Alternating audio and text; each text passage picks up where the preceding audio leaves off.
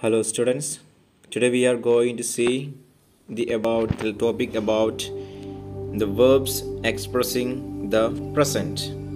So in the verb expressing the present we can see that the first sentence on your textbook my sister works as a fashion designer isn't it that is simple present tense uses and for example the sentence to talk about to talk about things in general happening all the times. Okay.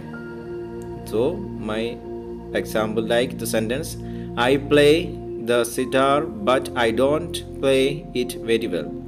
So here we can see that to talk about things in general happening all the time isn't it? So i play the sitar but i don't play it very well. So always play in the sitar happening all the times isn't it? But i did not play it very well.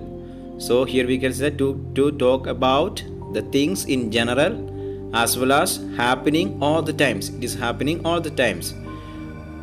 That is what the present that is happening at all the time. That is called simple present tenses. And how does it uses to talk about things in general happening at all times. I play the sitar, but I did not play it very well. Here I play a sitar is play always always happening.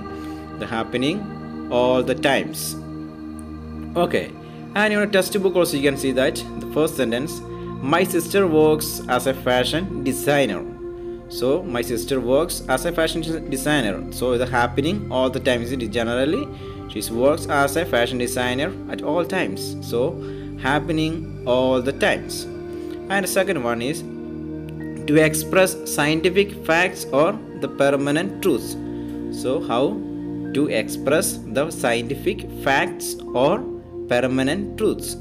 For example like water boils at 100 degrees celsius isn't it it does not rain much in Rajasthan. So it is a scientific fact as well as permanent truths. Okay. So water boils at 100 degrees Celsius. So it is to express that is a scientific fact, isn't it? And the permanent truth is that it does not rain much in Rajasthan. That is a permanent truth. Okay. So in the simple present we are using first one is to talk about things in general as well as happening all the times. And the second one to express scientific facts or to permanent truths. So we saw that. And in Proverbs also we have seen that. And the natural qualities and professional activities too. And so you should remember the first part of the lessons. And also that for things that are happening in routine isn't it? Routine means i iron my uniform in the evening. Okay when in proverbs we can see that it takes two it, takes two to make a quarrel. Okay so what is that is a proverbs isn't it? Proverbs you know what you mean by proverbs. Okay it's words that were said by the many people. Okay and on your textbook also we can see that the sentence that you have given first my sister works as a fashion designer. That is also one kind of the activities and the natural qualities and the professional activities. Fruits contain lots of minerals and vitamins isn't it? There's the natural qualities and professional activities. A dentist take care of teeth isn't it? That is a professional activities. So what is natural natural qualities Fruits contain lots of minerals and vitamins. And what is promotional activities? Promotional activities means a dentist takes the tooth. And the now next we are moving moving on. Present continuous tense. So how does the present continuous tense is used? So on your on your textbook, the first second sentence is. She is working one on a new collection right now. So what did this mean? To express an action taking place at the time of speaking to express an action taking place at the time of speaking. Someone is knocking at the door.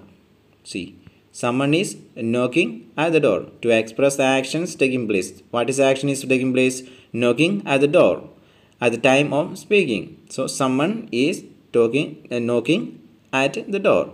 And you're giving a textbook example is that she is working a new on a new collection right now. So what did you mean that?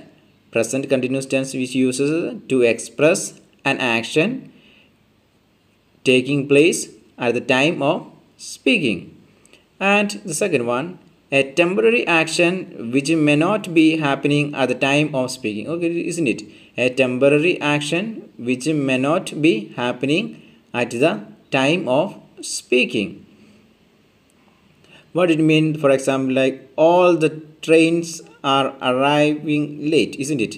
All the trains are arriving late. A temporary action which may not be happening at the time of speaking. So for the, the sentence is given that all the all the trains are arriving late. What it mean by that isn't it? All the train that are arriving late and we moving on next.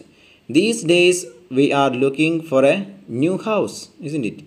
These days we are looking for a new house. The temporary actions which may not be happening at the time of speaking that is not happening isn't it? These days we are looking for a new house. We are looking for a new house. Okay we are looking for a new house. Looking for a new house. Okay that is not happening isn't right now isn't it so the temporary action which may not be happening at the time of speaking. That is mean these days we are looking for a new house. Okay looking for a new house